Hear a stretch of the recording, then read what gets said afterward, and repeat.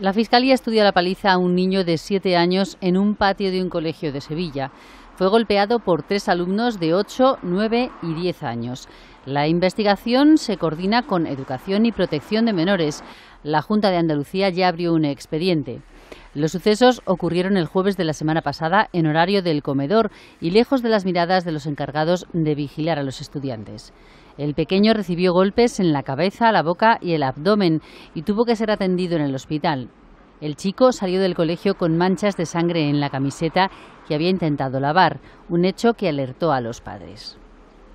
En el colegio del barrio de Triana se activó inmediatamente el protocolo de acoso escolar y se levantó un acta que firmaron las familias. En la denuncia que han presentado los padres consta que habían alertado al colegio por amenazas y agresiones a su hijo. El centro se plantea la expulsión de los agresores.